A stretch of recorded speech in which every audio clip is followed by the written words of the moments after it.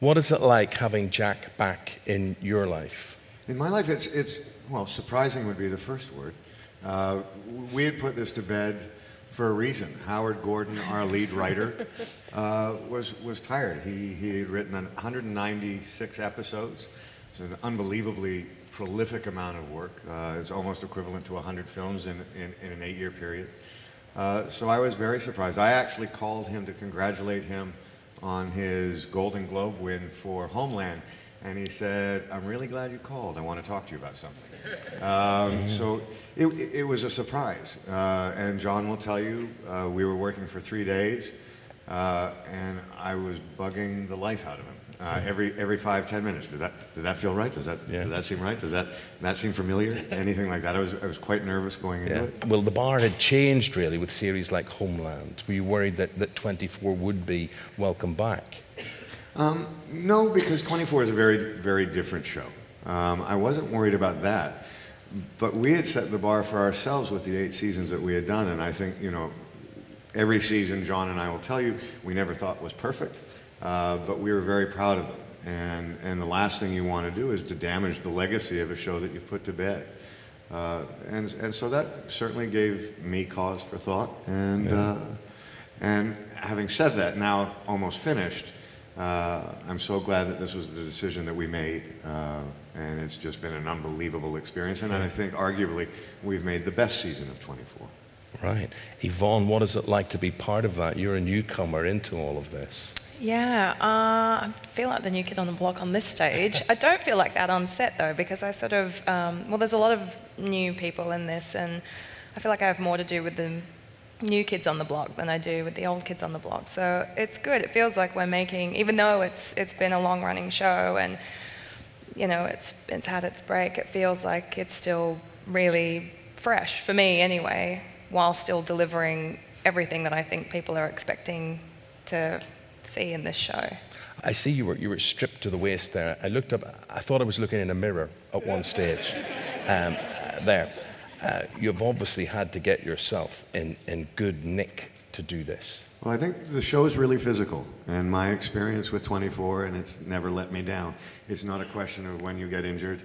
Uh, it's not a question of if you get injured, it's a question of when and how severely.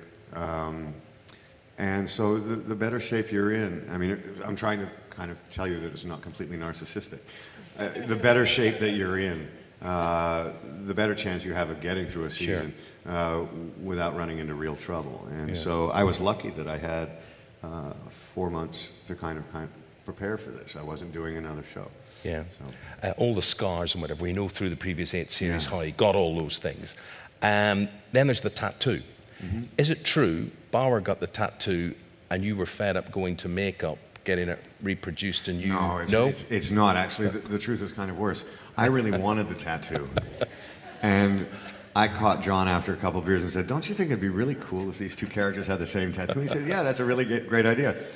Didn't say go do it. He yeah. just said, "Yeah, that'd be a cool idea." So I went and got it, and then the other poor actor had to wear the stencil makeup tattoo for the rest of the show. It was just something I wanted. So. What was it like to be in London? I feel kind of like a bad kid being an American in London. Like I'm going to get in trouble with the Queen, but. Um, I mean, you saw all the glamorous sights. I mean, in, the second episode, we see you in Ealing, in a lovely, in a, in a, in a, it's a lovely council estate. We, you call them, I think, a project in America. Mm-hmm. Yeah, yeah, yeah. Um, but um, it's, it's real, it's keeping it real. Were you worried about the look, the American look, and the slickness and whatever it is may not have transferred? Well, I think in, in, if you see a show in America, and, and, Friends might not be the best example, but they kind of are required to go to London Bridge, Big Ben, yes, and Westminster yeah, yeah. Abbey, and if they get to Buckingham Palace, fantastic. um, and I think I always loved the, the, and Jon and I had talked about this, I always loved the film The Long Good Friday. And, it, and I remember seeing it and not having spent a lot of time in London before, and I thought London was very cool from that visual perspective. Uh, this is inherently, this is an American show. And like it or not, we think about the American audience first.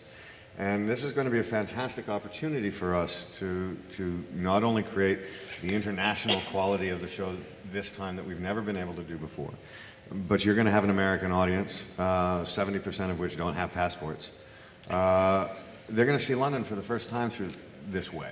Uh, and I think it's unbelievably stimulating and, and, uh, and just is going to add so much uh, for the American viewer. Yes. Um, and then just worldwide, it's just such a colorful change for us uh, that I think it just gives it a much larger international global feel Yeah. than anything we've done before. But because it's over such a short space of time, well, what, you've, you've done it in five months or so, from start to start to finish, uh, and yet it's only 24 hours. It's 24 hours. So what happens when your hair grows, or um, is- are there continuity problems? I mean, what, what's the what's the big thing? What what, what happens? Give us an insight Don't to eat that. too much. Don't eat too much. Because if you put on weight, it's really bad for the show. yes. no, I mean, there's all, you know, Don't we're, get we're all cutting our hair every Yes. three weeks, every four weeks, and you get your hair cut every four weeks. Well, we have to because Yes. otherwise, if it grows, it doesn't match. yeah. Pick the right shoes. Yeah. Pick the right shoes is really important. Because you're going to wear them a lot. Because you're going to wear them Yeah. for five months. Okay. Uh, just looking around the audience, there's hands up there. Yeah. Um, in the gap between the last series wrapping and starting shooting this one, what did you miss most about playing Jack? It was funny, you know. We had worked with a crew for eight years. 98% of those people were with us from day one to the very end. I think over the course of the eight years, 32 children were born, 42 marriages happened. Um, I know it sounds trite, but we were a family. Uh, and I went to say goodbye to the camera operator, and we used to have a phrase, we danced together, and his name was Guy. And he did some of the most beautiful handheld work I've ever seen in my life. And he was like working with a really talented actor. I mean, we fed off each other. And I went to shake his hand, and I'm going to do it now too. I went to shake his hand, and I went to say, it's been an honor. And I'm not a real crier. And my lip went, and I had to look away, and so did he. Uh, I miss that. I, I miss my friends. And I think that was the hardest thing for me to let go of, and I think that will always be uh, the thing that I miss the most about the show. Um, you know, with, with regards to the character, if I want, I can pull out some old scripts and I can do that stuff at my house. But I just, I, I ended up, I ended up missing the people.